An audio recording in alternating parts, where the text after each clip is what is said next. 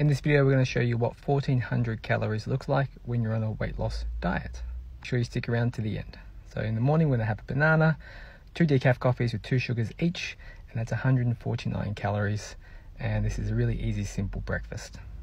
Next, we're going to be having lunch, which is going to be four scrambled eggs, one piece of toast, half an avocado, three cherry tomatoes, some seasoning, and 15 grams of butter. And this is pretty much a staple every single day for me. And this is about 12 o'clock p.m.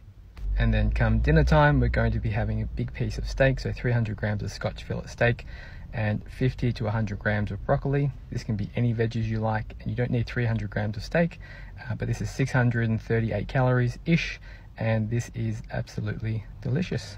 Follow for more.